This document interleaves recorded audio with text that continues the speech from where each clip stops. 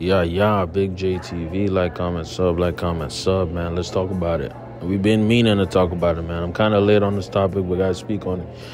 Jonathan Majors, charged with, found guilty of two, let me repeat this, misdemeanors.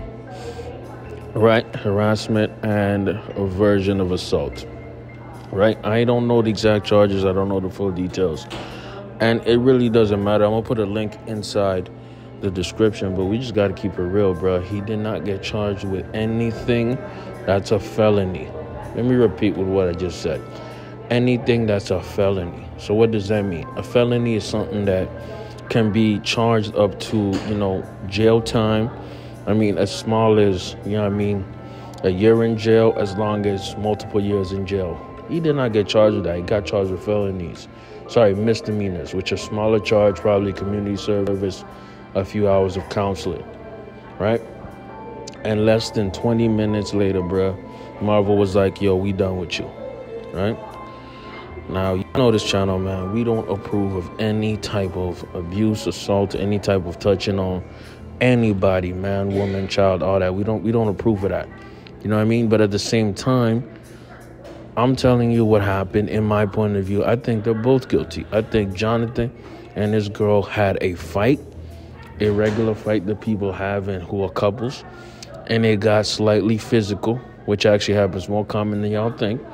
And Jonathan Majors had the dumb idea of involving essentially the police in it. You know what I mean? And that I think is the problem, bro. He involved the cops in the domestic situation that they could have sat down and figured out by themselves. Feel me? They could have essentially went in and figured out the situation with themselves. You know what I mean? So for me, I always think about it like this. If they went to some kind of couples therapy, if he maybe talked talk to one of his homies, he this whole thing started when Jonathan Majors called the police after finding his ex-girl laying naked, half naked in his closet. He thought that she offed herself. See, what he's guilty of in this situation, Jonathan, is dealing with a crazy broad for too long. Dealing with a crazy broad for too long, man. We've, yo, if you're out here, man, and you're dating and you're seeing women, you know the crazies, right? And the thing is, when you see the crazy, you're like, okay, maybe you can tame it. Maybe you can control, you know, the situation. But that's why she's crazy, dog. You're supposed to run away. And Jonathan Majors literally ran away, as y'all saw on video. But for me, I look at it like this, bro. As black males, you have to understand that you're fighting against it. And you, instead of playing the game of life on easy mode, you know what I mean? Not necessarily easy mode or the right mode, you know, dealing with your peoples, people who can relate to you to a certain level, dealing with, you know, other folks, you know, it's a difference. It's a massive difference. Now, the solution is not to say never to date anybody outside of your race, outside of your culture. That's not always the solution. The solution is being wise about your movements. The solution is understanding when you're dealing with a crazy broad and when you're not.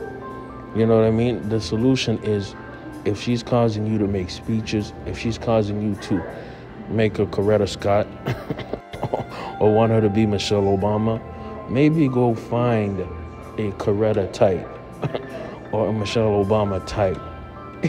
I mean, if you look at this woman's background, bro, she was a movement coach. Let me repeat what I just said. This woman was a movement coach. Third time's a charm. She was a movement coach. This woman had no history dealing with a man who he himself believes he's a great man. If you believe you're a great man, align yourself with a great woman who's following your leadership and not there to destroy you. This woman was so venomous, she was on trial, and I believe when she was on the stand and she cried to those jury members, that's half of the reason they found him guilty. It is what it is, man. Let me know what y'all think in the comments, man. That's the consequences of dealing with crazy. But let me know what y'all think in the comments, man. Big JTV, like, comment, sub, I'm out.